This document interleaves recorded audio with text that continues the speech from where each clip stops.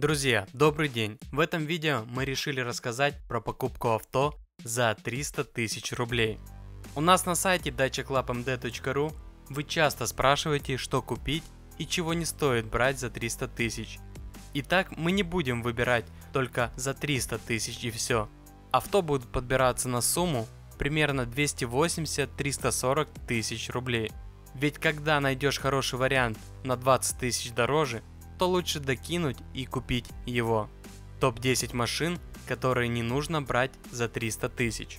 Первое из того, что мы не советуем, так это смотреть на старый Mercedes, Audi, BMW и другой немецкий автопром. Такую покупку мы считаем нецелесообразной, а именно потому, что обслуживание данных авто будет стоить вам больше, чем на 10-15% стоимости вашей машины в год. Вдумайтесь, за год на подвеску или какой-то другой ремонт авто вы будете тратить 50-100 тысяч рублей. А 100 тысяч это уже треть всего автомобиля. Мы считаем, что рациональная покупка это когда автомобиль жирает 5% в год от своей стоимости. За 300 тысяч еще очень часто спрашивают, можно ли купить круз. Так вот, ответ нет, потому что живой круз стоит 400-450 тысяч. А покупатели ведутся на то, что в бюджете 300-360 тысяч куча предложений. И думают, ну блин, все-таки, наверное, можно же купить хороший вариант. Нет, живой Chevrolet Cruze вы там не купите. Там будет что-то либо из такси, либо что-то ушатанное. За эти деньги мы ни разу не видели ни одного живого круза. Там по-любому есть какие-то технические моменты, которые вам придется устранять и будут они стоить приличных денег. Туда же отправляется и Lancer 10, который народ периодически пытается купить за 350 тысяч. Но нет, он тоже стоит 450, а некоторые варианты могут доходить и до полумиллиона рублей. И туда же отправляется Civic 8 поколения, Mazda 3 БК и так далее. Живые они стоят где-то примерно 400-450 тысяч рублей. Но конкретно с БКшками и восьмым цивиком есть проблема. Живого вообще ничего нет. Даже если у вас неограниченный бюджет, найти действительно достойный автомобиль, который не участвовал в ДТП, который технически исправен и все нормально с документами, это прям какая-то редкость. Мы не знаем почему, чем это обусловлено, скорее всего тем, что есть молодые люди, которые не запариваются по обслуживанию и так далее. Вывод. За 300-350 тысяч даже можете не мечтать найти хороший вариант. Последнее, что у нас популярно спрашивают, можно ли купить Kia Ceed первого поколения. Ответ – его нельзя купить за 300-350 тысяч рублей. И то же самое с Hyundai Solaris. Конкретно с Solaris история в том, что за 300-350 тысяч рублей там реально есть варианты, но это либо развод, где вас просто тупо будут на бабки разводить, либо это машина из-под такси. Других вариантов не дано. В случае с Сидом это будет просто уставшая машина, потому что Сид старый. И живое первое дорестайлинговое поколение стоит, ну где-то 400 тысяч. То есть за 350, если сильно повезет, вы где-нибудь отцепите живой вариант, но за 300 точно нет. И с Сидом мы открываем категорию того, что купить в целом можно, но не стоит. И первый автомобиль в этом списке, который можно купить, но не стоит, это Ford Focus 2 Restyling. Они очень редко встречаются за 300-350 тысяч рублей живые, но это машины самых первых годов выпуска, самой базовой комплектации и с вложениями. Как по нам, лучше все-таки добавить там еще 20% стоимости и купить машину в хорошей комплектации – в хорошем состоянии и более молодую за примерно 400-450 тысяч. Примерно туда же у нас отправляется и Opel Astra H. Потому что за 300-350 тысяч тоже дофига вариантов, но они все через одну мертвые.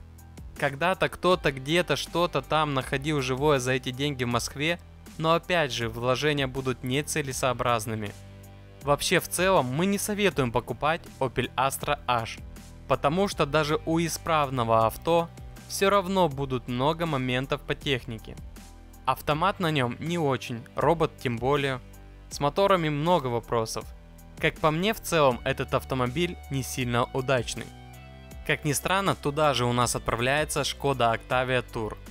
Потому что за 300 тысяч рублей там начинают появляться уже уставшие Шкоды Octavia, А5, дорестайлинговые, но это дрова. А 300-350 тысяч за турик отдавать как-то грустно, да и в целом тур уже изжил себя.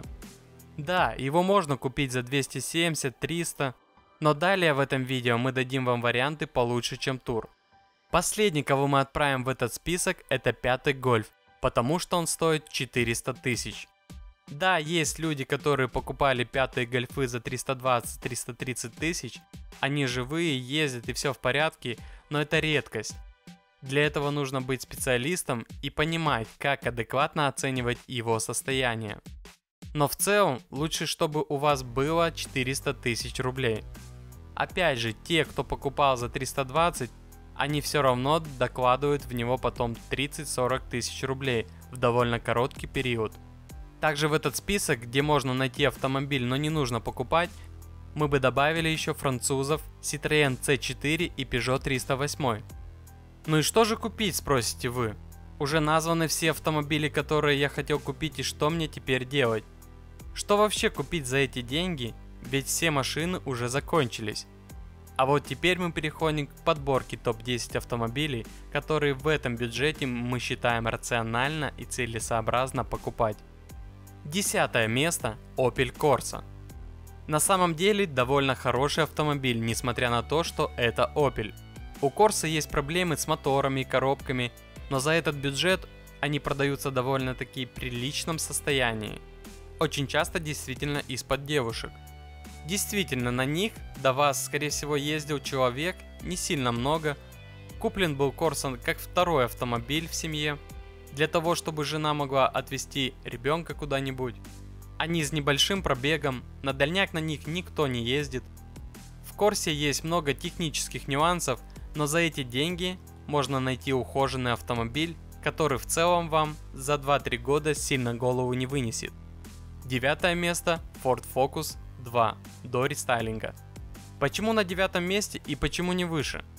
потому что у него расходы на техническое содержание могут быть выше, чем 10%, даже если он будет живой. Потому что все-таки эта машина уже будет примерно 2005-2006 годов. Им уже 15 лет. И как за ними не следи и не ухаживать за 15 лет, все-таки автомобилю становится уже плоховато, особенно фокусу. Но в целом за эти деньги можно найти действительно хороший второй фокус, который будет спокойно ездить еще 2-3 года и будет вас только радовать. Восьмое место Лада Гранта и Лада Калина. Мы не смогли разделить их, потому что технически плюс-минус это все-таки одно и то же. Поэтому восьмое место за нашим автовазом. Да, действительно, за эти бабки можно купить достойную Калину и Гранту – они будут самые молодые из всего списка, который мы сегодня вам представим. Что про них рассказать? Это вас. Вы спокойно на нем отъездите. Да, он поводит коробкой, да, он вас достанет по некоторым мелочам, но в целом хороший автомобиль. Если вы хотите самую свежую тачку за свои деньги, то это будет именно вас. Седьмое место Chevrolet Aveo первого поколения аналог Opel Corsa. Но вы спросите, почему Aveo стоит выше в списке? Да, он выглядит не так клево, как Corsa, и в салоне там не так круто, как в Corsa. Но если вы купите живой Aveo, то вообще не будете париться. Действительно, очень удачный и хороший автомобиль, что седан, что хэтчбэк. Их можно покупать, единственное, избегайте автомата, либо смотрите его очень внимательно, потому что это единственное место, где могут быть у него проблемы. На шестом месте Lancer 9.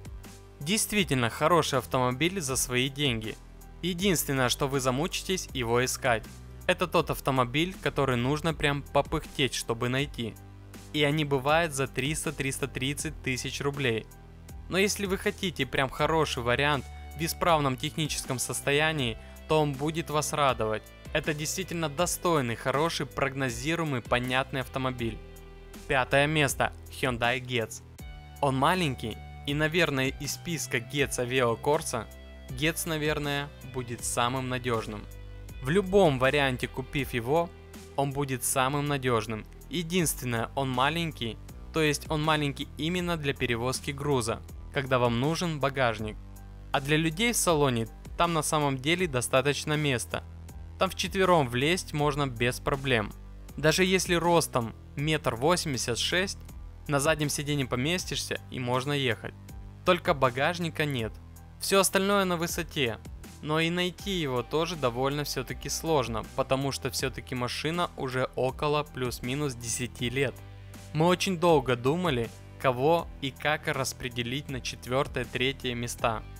И на самом деле они все плюс-минус одинаковые, и что вам больше нравится, то и можете покупать. Между четвертым, третьим и вторым местом по сути нет никакой разницы. Четвертое место Chevrolet Lachetti. Лачик нормальная тачка, любимая машина таксистов. Очень надежный автомобиль, который понравится таксистам, огородникам и просто нормальным семейным мужикам, которые не претендуют на то, чтобы машина очень достойно выглядела снаружи. Они просто хотят за свои деньги максимально простую, надежную и понятную машину. И действительно, Лачети просторный, надежный и понятный, его легко обслуживать. С ним есть, конечно, моменты, но в целом это уже просто тупо из-за возраста. Потому что, опять же, за 300 тысяч рублей они уже будут уставшие. Это действительно хороший автомобиль, который мы действительно рекомендуем покупать за эти деньги. Третье место Nissan Almera Classic. Действительно очень надежный и неубиваемый автомобиль. К нему по сути вообще вопросов никаких нет. Все зависит от того, какой экземпляр вы купите. Если вы купите мертвую шатанную тачку, тогда да, готовьтесь огребать. Но если вы купите хороший ухоженный экземпляр, она будет реально очень долго вам служить. На втором месте Renault Logan либо Sandero. Они так высоко в списке, потому что действительно надежные автомобили. Единственное слабое место обоих автомобилей это автомат – не берите их на автомате, не нужно. Если вам нужен автомобиль на механике, можно смело покупать Логан или Сандера. Даже если вы купите какой-то кусок автомобиля из-под такси, этот кусок автомобиля всегда будет ездить. Мы не видели ни одного Логана либо Сандера, которые были безнадежно мертвы. Это действительно очень выносливые автомобили и они пользуются устойчивым спросом на рынке. Поэтому если купить их и потом продать, вы даже практически ничего не потеряете на этой операции в деньгах. Ну и на первом месте, конечно, Kia Rio второго поколения. Мы считаем это лучший автомобиль за эти деньги. Потому что за 320-330 тысяч рублей можно найти практически нулевый экземпляр, а технически до него вообще не докопаться. Это машина, которую реально можно покупать у нее очень дешевые запчасти, у нее очень дешевый кузов, при этом она симпатичнее Логана. Что хэтчбэк, что седан. Это симпатичная небольшая машинка, которая просторная в салоне, у которой есть все нужные вам опции и которую очень легко потом можно продать. И как раз для бюджета 300 тысяч рублей Rio 2 покупают, чтобы просто машина долго ездила без каких-либо проблем и не высасывала семейный бюджет либо учиться водить на этих автомобилях. И вот для обоих этих ситуаций он полностью подходит. На этом все. Не забудьте указать в комментариях, какие еще машины, по вашему мнению, можно купить за 300 тысяч. Подпишитесь на канал и поставьте лайк, если считаете, что за 300 тысяч можно найти хорошее авто. Но если вы хотите поставить дизлайк, то объясните свой выбор в комментариях.